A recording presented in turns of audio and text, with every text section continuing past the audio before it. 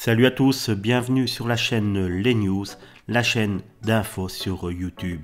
Alors n'hésite pas à nous rejoindre, on est déjà plusieurs milliers à suivre l'actu People tous les jours ensemble.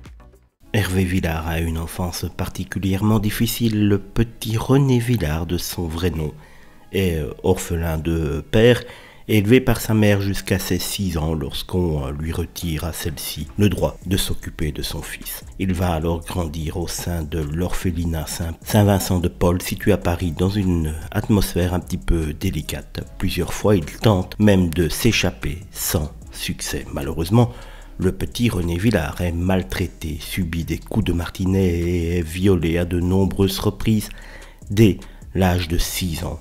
Il laissait tomber le crayon, se penchait et baissait notre braguette.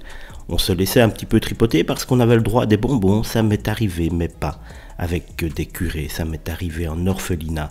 Même les juges, vous savez, dans les années 50, faisaient des attouchements sur les enfants de l'orphelinat Saint-Vincent de Paul, avait-il confié au micro de RMC des paroles qui sont tout de même très difficiles à entendre.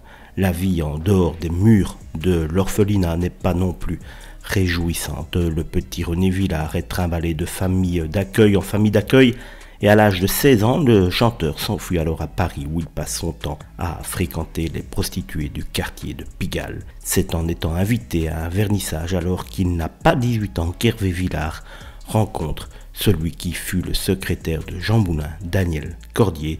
Celui-ci devient son tuteur légal et son mentor.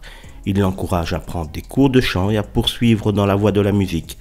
Il est ensuite repéré lors d'une audition et signe avec le label Mercury Records le début du succès, la fin de la misère pour Hervé Villard, qui a eu une enfance très compliquée, qui a dû gérer ses souvenirs tout au long de sa vie et qui malgré tout a réussi à surmonter ses démons.